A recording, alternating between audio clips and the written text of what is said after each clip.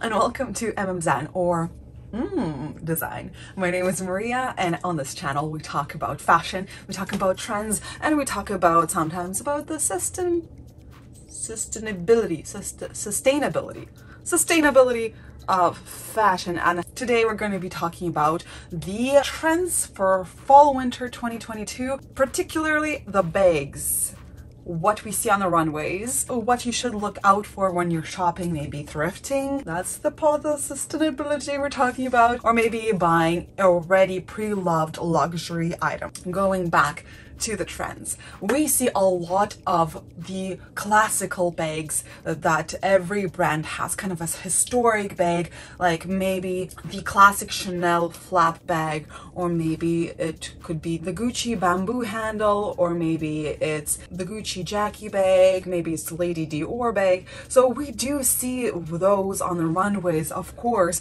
every house is gonna keep making their bags, but making them a little bit more now, a little bit bit more fresh, maybe using the trendy colors or maybe going for a trendier print, maybe changing a little bit to suit the today's client. Digging up the archival items and making them fresh. Alright you guys, so right now we're going to be talking about probably more of a silhouettes, what kind of silhouettes were present on the runways of different types of bags. Of course, we have a huge range of sizes. What you're looking to use this bag for? Is it for travel? Is it for maybe going to the gym? Is it for everyday kind of thing? Is it more of a luxurious kind of a special occasion bag? So we're gonna take a all look at a lot of them. So the first one we're going to be looking at is more like a gym bag of sorts and I'm calling it the bowling bag because it looks like a bowling bag. Alright, we have some of those in Gucci so they're kind of more of on a bigger side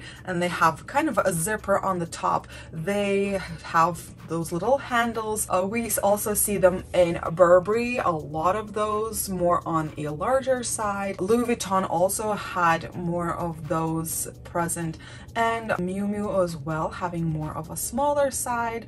Prada as well. As you can see, a bowling ball probably would not fit in there, but it is in that kind of a shape with a zipper on the top. Dior Rock, we see it in a variety of kind of classy levels as well as sizes. I think this is a great bag for gym goers.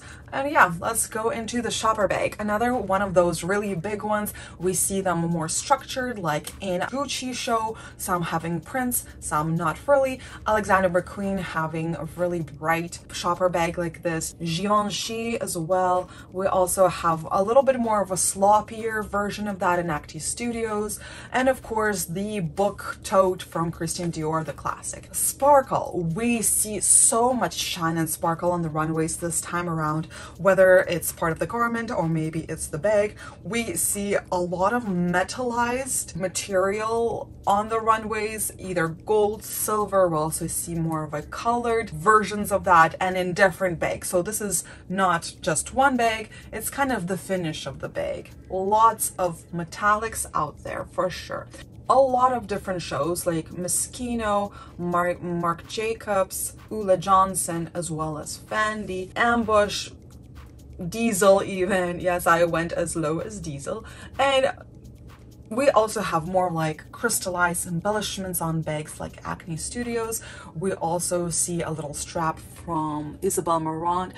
And of fully crystallized items like in Bronx and Banco shows. There are so much crystal, so much Swarovski diamonds, anything bedazzled basically. So 2020 is more looking like the early 2000s where we have crystals everywhere. We also have some of the beads, more like uh, beaded bags like in Chanel and Givenchy. And of course, yeah, more crystals. Off-white, Lanvin, a lot, a lot of really bright and shimmery things.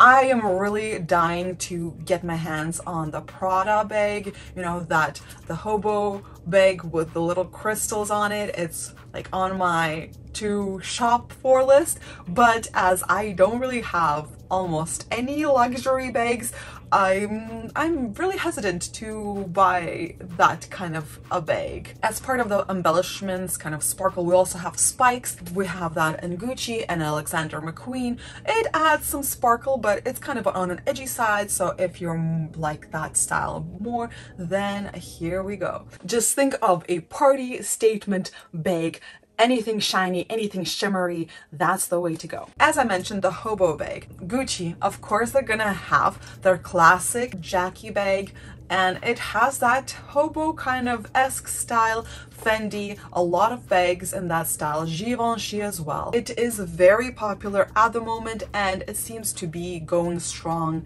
into the next season as well if you have it around dig it out it's great to wear, but bags are very personal, and if you like a certain style, then just continue wearing it. The purpose of these videos are more like to show you what other items there are, and if you like them, maybe introduce them into your style. That will kind of spark your imagination to make more outfits out, of what you already have. But here we are. We have this hobo bag in variety of sizes. Uh, if you need like a smaller one for the city, here you are. If you need a bigger one to maybe go to the gym in, here we also have some bigger sizes. We have some of these in Louis Vuitton, Miu Miu, as well as Off-White having a lot of them also in different sizes as well. Alright you guys, so Saddlebag is a very classic bag. Gucci is one of those brands that had a lot of them. We also have them in Balmain. Once again, varying sizes. So Saddlebag is a shape of kind of a more of a circular uh, bottom or maybe it has circular edges on it and a flap over it. It is very similar to the hobo bag as the hobo also has that curved bottom, but it does have a flap unlike the hobo bag. So we have a variety of these in Versace in different colors, uh, not as bright as I thought that Versace was gonna go for, but pretty cool nevertheless. Michael Kors, Chanel having very classic versions of that there as well in different colors. We also have Ulla Johnson having more of a belt bag in it, Moschino, even Dior having a few of those. So when we think about the hobo bag as well as the saddle bag, they have more of a circular silhouette shapes and that's what we're going for. Anyways, let's go into the micro bag trends. Still see them um, maybe on a little bit of a bigger side, but not quite. Like in Fendi, we have some very tiny little ones that are more look like a keychain of some sort. And I always thought, why would you ever, what would fit in there? And then I went on to Versace site and I saw them and apparently they are not just like a little bag. Some of them are like headphone little charging station.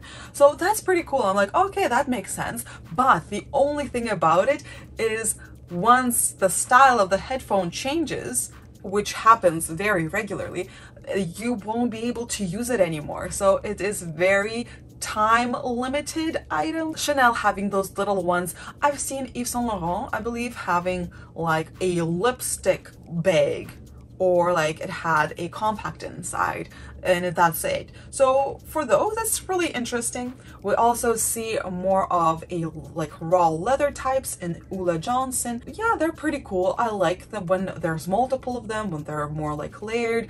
Takes away from it being a bag to more of being an accessory. We also have the mini bags in Valentino, uh, probably like barely big enough to put your phone in and maybe a pair of keys.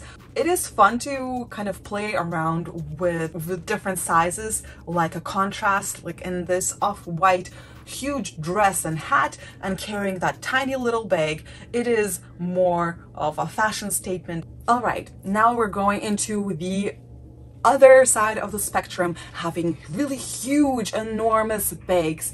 And these are great when you're traveling somewhere. Maybe you need a gym bag of some sort. But if you're going for that chic look and having that huge, enormous bag with you, it can be a hassle. Like you need to stuff it in order for it to look decent. Like you can't just have an empty bag with a phone on the bottom. Yeah, I don't know. I don't really like to have like an enormous bag with me. It's like things get lost in there really easily. But here we are. Balenciaga even having more like a garbage bag situation. I wonder if they actually do sell those bags as like garbage bags or it was just for the show. Givenchy and Off-White having that enormous, enormous box and the like huge backpacks, like they're twice the size of the models. Dolce Gabbana having that hobo bag, like it is crazy enormous. A per probably a person could fit in there. Alex also having more of a little bit of a shopper bag on a bigger scale, but here we are. A total contrast to a structured bag, designers also went into all in into the more of a slouchy, squishy bag, the kind of bags that will expand to consume all your daily essentials. And they can also collapse into something much smaller, like, yes, they are much more comfortable for traveling because they kind of make up any size that you need to squish them into, uh, but yeah, not my favorite once again fold over. So we see a lot of kind of almost sandwich bags that kind of like are rolled or like folded over. So there are a clutch type of a bag that basically just fold. It is more of a softer side. So if you have kind of a lazy uh, outfits and you like it, go ahead. Alright you guys, and the bucket bags are still strong. We have a few of them in different shows and they do kind of fall into those slouchy bag trends. We see them more of the meshy variety rather than a full-on shape of a bucket bag. All right, we have puffers as bags. so we see them being kind of stitched through, having them more voluminous and kind of a soft, kind of like a cloud bag, but a little bit on a more structured side. Like you can see it in Versace here. Um, Givenchy having a backpack like stitched through like a puffer. We also see it in Balenciaga. Uh, okay, I don't mind it at all. It's not like a furry thing, so I'm okay with it. And we also see more of that, those, the cloud bag, the pierogi bags that are, they're still present. I'm not the biggest fan of them. I like, I feel in five years they're to be so disappointing. and yeah, I don't know. I, I, as I said, I prefer to have more of a structured bag but here we are. It is, it like, it still looks like a little lunch bag as well, like just not folded, but more like gathered up in, in a bunch. Uh, but yeah, Jil Sanders, uh, also having those, it, it is a different version.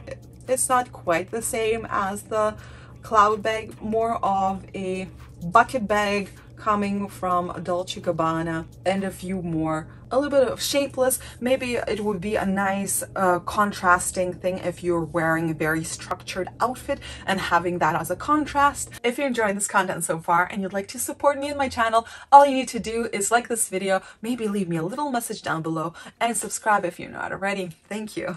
All right, moving on to color this season we see a lot of color. Look, I'm dressed in color and that doesn't really happen often. We see a lot of different colors on the runways. We have Alexander McQueen, Balenciaga having a weird bag that looks like shoes. I wonder if you can also wear them and they'll still be functional we see bags being more of a color pop like in Fendi or maybe they are being monochromatic all the way along colorful bags are so much fun. I really like when there's a the bag is the statement color and you can also play around with it in Valentino having everything identical color that is such a fashion statement but it may be a little bit difficult to achieve. So basically if you find a bag in a color that you love why not get it? It's not super close to the face where if the color is not your color, it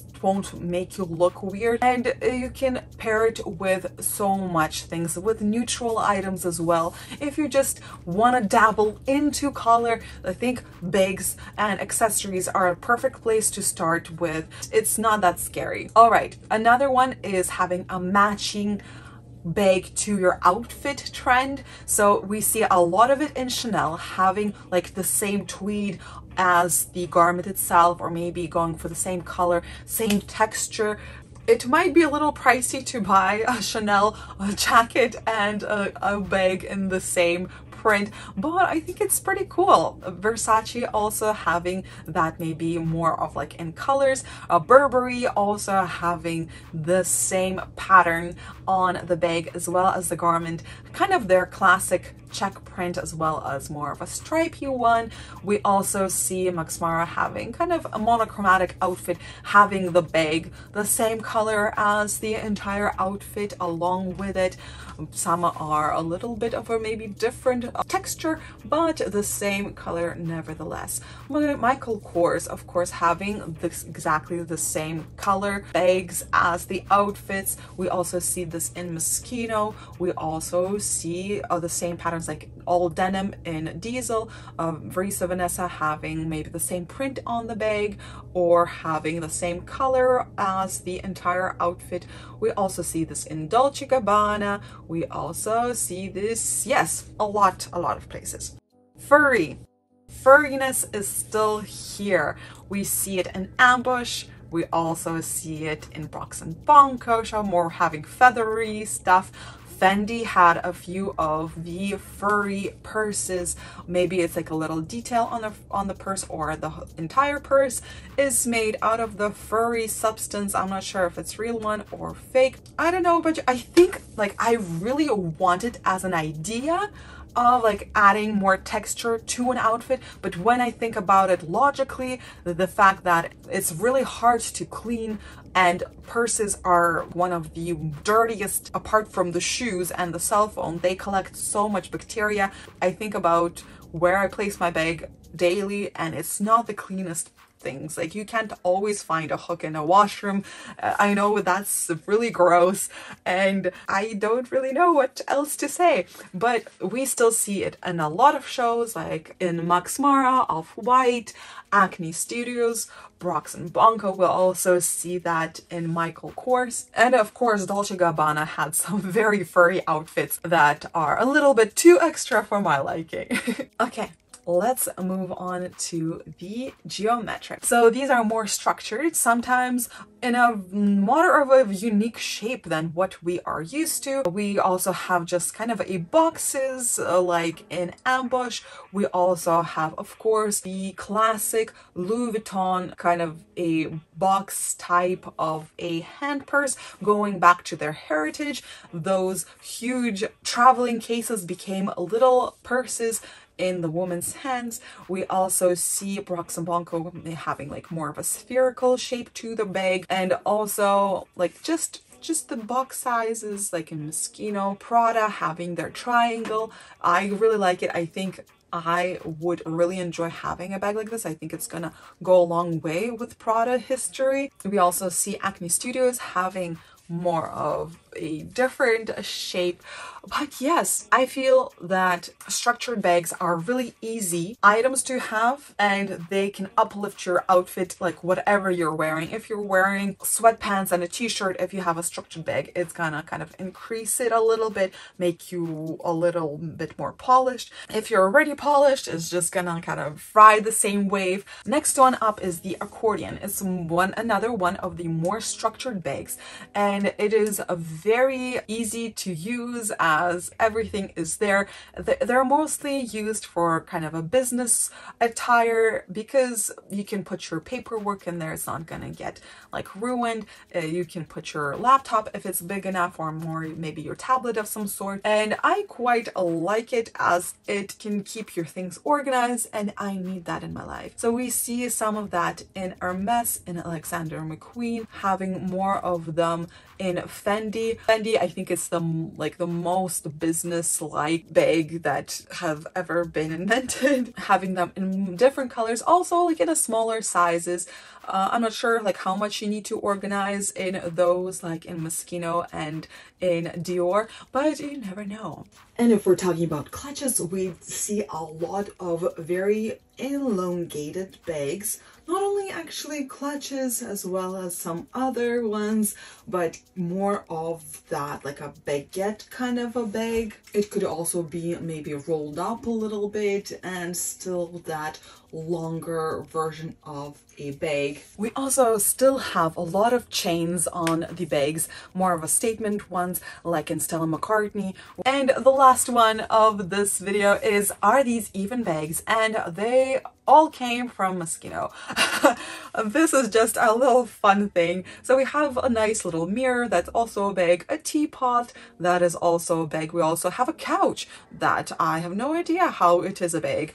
And Yes. Alright you guys, uh, thank you very much for watching this video to the end. I hope it brought you more understanding of what to look out for when you're shopping for a bag. Maybe you wanted to see uh, what you should buy in order to get the best investment. I would go for more of a classical bags that you know won't go out of style, like maybe the Gucci bamboo bag or maybe a kind of a Chanel flap. I know that there's a lot them out and about nowadays. So I, I, I don't know. It's just completely up to you what your preferences are. Try not to go for super trendy items as really trendy items tend to go out of style while classical ones just remain there all the time. Sometimes a new trend can become a classical item, but you kind of know. You kind of know.